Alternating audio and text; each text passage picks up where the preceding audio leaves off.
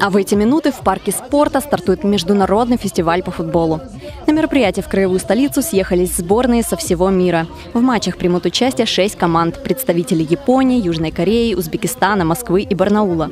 В этом году фестиваль посетит множество почетных гостей, среди которых Алексей и Евгений Смертины, гендиректор Российского футбольного союза Александр Алаев.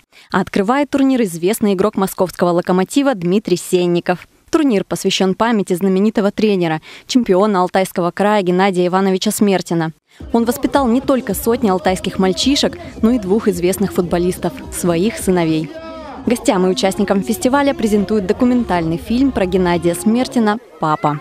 На месте работает наш корреспондент. Подробности этого масштабного спортивного события смотрите завтра.